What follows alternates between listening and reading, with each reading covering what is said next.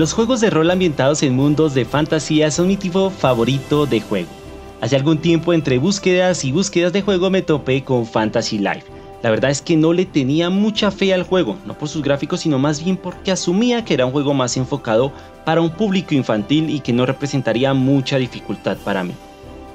Decidí darle la oportunidad por una gran razón, el hecho de que Level 5 sea uno de sus desarrolladores me llamaba mucho la atención, por si no lo saben, Level 5 ha sido desarrollador de muchos videojuegos de renombre como lo son el Profesor Layton, el Dragon Quest 8 y Nino Kuni, el cual tengo pendiente. Quiero decir que en Fantasy Life encontré un juego de rol fantástico y con un nivel de personalización no muy avanzado, pero sí con bastantes opciones para el jugador. Así que hablaré de esta joya en la Nintendo 3DS porque merece la pena un review. Si quieres quedarte, recuerda que mi nombre es Fideblay Cruz, no olvides comentar, darle like y suscribirte si al final de este video te ha gustado su contenido.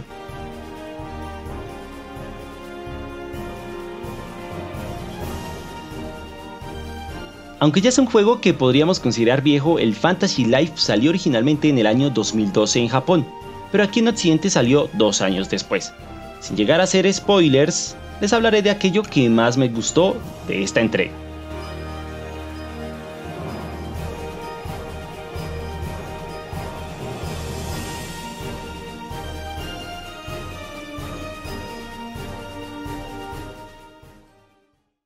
La historia de Fantasy Life gira en torno a Reveria, un mundo que se divide en tres reinos principales, Castolia, Portópolis y Terra Mago.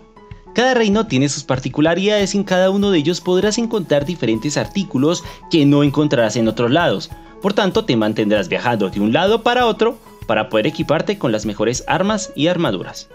Tu personaje, quien conoce a una mariposa parlanchina, se verá envuelto en una gran aventura que implicará salvar a como de lugar el mundo de Reveria antes de que colapse debido a unos sucesos extraños con rocas que han caído del cielo. Primero que todo hay que decir que Fantasy Life es un juego tipo Action RPG, es decir, aquí siempre estarás batallando con los enemigos de forma activa y eso conlleva que debes saber cómo, dónde y cuándo atacar, así como el tipo de arma y ataque que uses. En el juego hay un total de 12 oficios, de los cuales 4 están enfocados en el combate. Estamos hablando del paladín, que suele usar espadas y escudo, el mercenario que usará espadones ocupando sus dos manos, el mago que podrá usar magia de agua, fuego, viento o tierra, y el arquero.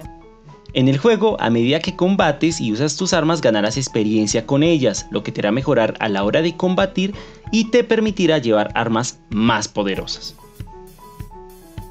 Para el caso de los magos no solo mejorarás tu habilidad con la magia, sino también con el tipo de magia que uses. Es decir, podrás ser un mago con gran nivel en magia de agua, o fuego, o viento, o tierra. Todo depende del uso que lees en los combates. Lo interesante del juego es que si de un momento a otro ya no quieres ser arquero, puedes convertirte en paladín sin perder el progreso que llevabas. Y esto es gracias al sistema de oficios que ofrece el juego, el cual explicaré más adelante. Los enemigos en el modo historia no suelen ser muy difíciles, no obstante, gracias a la gran cantidad de misiones secundarias y misiones de oficio que tiene el juego, podrás irte a la búsqueda y caza tanto de monstruos como de jefes muy poderosos, para los cuales debes ir bastante preparado y que en mi caso debía hacerme más poderoso para vencerlos. Así que el juego es bastante retador en cuanto al combate con este tipo de jefes, incluso después de terminar el juego. Deberás subir de nivel en tus habilidades y descubrir botines interesantes si quieres enfrentarte con alguno de los monstruos más difíciles. Tomando en cuenta lo anterior, es importante hacer énfasis en una de las características más llamativas del juego, el sistema de oficios. En el proceso de creación del personaje, Fantasy Life te permite personalizarlo de maneras muy interesantes. Primero que todo, puedes hacer que este sea chico o chica, Claramente podrás editar algunos aspectos de su cuerpo y finalmente elegir su nombre. En un momento inicial no tendrás ningún oficio, pero podrás escoger entre un total de 12 oficios, 4 de ellos especializados en combate, que ya nombré antes, y 3 oficios de recolección, los cuales son minero, leñador y pescador, y 5 oficios de creación, los cuales son herrero, carpintero, alquimista, cocinero y sastre. Tu personaje podrá elegir y mantener un solo oficio, el cual subirá a nivel mientras lo tengas activo y realices tareas asociadas a él. No obstante, puedes cambiar de oficio cuando quieras y mejorar tu nivel en otro campo sin perder el que ya tenías. Así que puedes ser minero para recoger materiales como metales, que después podrás transformar en espadas o escudos con el oficio de herrero y finalmente usarlos en el combate con el oficio de paladín. Puedes mejorar en cada oficio cuanto quieras, lo interesante es que cada oficio tiene una serie de niveles que se van completando a medida que haces misiones secundarias y mejoras tu habilidad en ese campo. Así que si tú deseas, puedes incluso hacer todos los oficios y subirlos hasta su máximo nivel. No obstante, te diré que esa tarea no es nada fácil. Entre más subes de nivel en un oficio, más subirá la dificultad de las misiones o de las tareas a cumplir. Sin embargo, subir de nivel en una profesión es productivo ya que cada nivel superado le agrega mejoras a las características de tu personaje, siempre y cuando esté equipado con ese oficio. Esto es uno de los aspectos que prometen al jugador muchas horas en Fantasy Life, y cabe destacar que si subes el máximo nivel en un oficio, podrás obtener algunos sets interesantes que mejorarán bastante a tu personaje y características en dicha profesión. Fantasy Life es un juego que se desarrolla en un mundo abierto, aunque inicialmente podrás solo recorrer una zona del mapa, ya podrás optar por hacer misiones secundarias o subir de nivel tus oficios sin avanzar en la historia. Obviamente si deseas que más zonas del juego se abran para ti y poderlas recorrer a sus anchas deberás avanzar en la trama principal.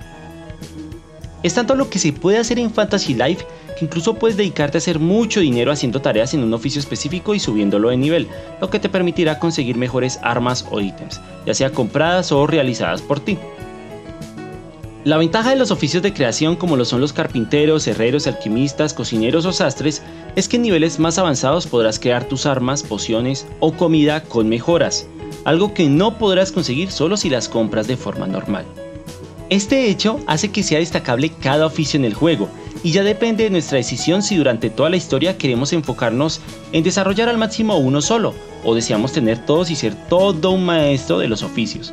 Obviamente, entre más oficios queramos subir de nivel, más amplia la experiencia en Fantasy Life, ya que nos adentraremos a cuevas, bosques y sin fin de lugares para conseguir productos especiales y poder subir el nivel en nuestro oficio. Las batallas en Fantasy Life no son demasiado complejas para ser un action RPG. No obstante, hay muchos jefes poderosos que hacen parte de las misiones secundarias que requerirán mayor nivel y lectura de sus movimientos para poder salir victoriosos. La forma en que enfrentemos a los monstruos del juego dependerá mucho del oficio que lleves, así como las armas, ya que es importante saber cómo usarlas. Si tienes a ti un oficio de combate, como el paladín, el arquero, el mago o el mercenario, deberás tener en cuenta que también contarán con habilidades que irán mejorando a medida que cumplas misiones secundarias específicas de ese oficio. Esto representará una gran ventaja en el combate. No obstante, debo exponer que en cuanto a las habilidades de paladín, arquero y mercenario no son tan diversas como la del mago, y eso hace que el juego se quede corto en cuanto a las habilidades disponibles para los oficios de combate y que las batallas se sientan casi iguales. Algo que sí cabe destacar es que puedes pedir a máximo dos NPC del juego acompañarte para combatir. Cada NPC ofrecerá habilidades y formas de combate que puedes aprovechar a tu favor. También podrás hacer eso con tu mascota en el juego, a quien también podrás llevar para que luche a tu lado. Y si tienes amigos podrás también jugar con máximo dos de ellos en batallas contra monstruos y jefes. Hay que destacar que en el juego podrás tener una casa y adquirir algunas más durante la historia, pero además de eso podrás dormir en ellas y decorarlas a tu gusto, incluso con el oficio de carpintero podrás hacer tus propios muebles. En el juego destaca también que existe el ciclo de día y noche, por tanto muchos personajes del juego así como monstruos no estarán en los mismos lugares según el momento del día.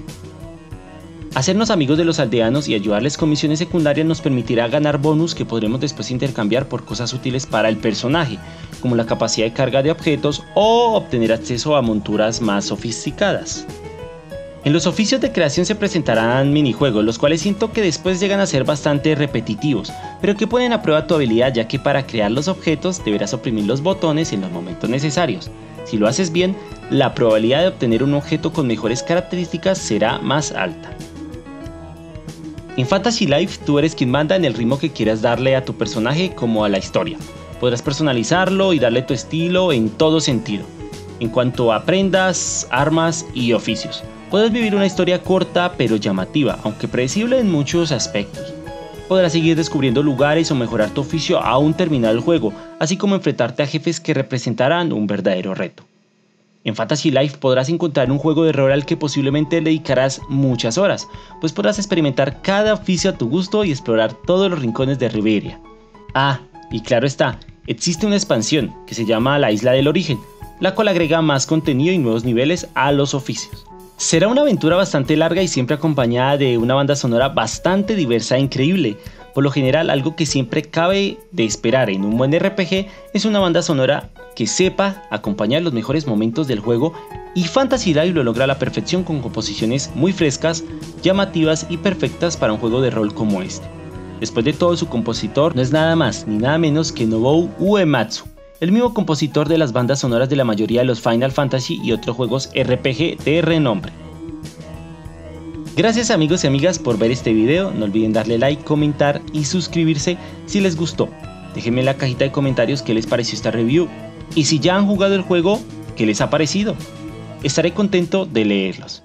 Nos vemos en una próxima, bye bye.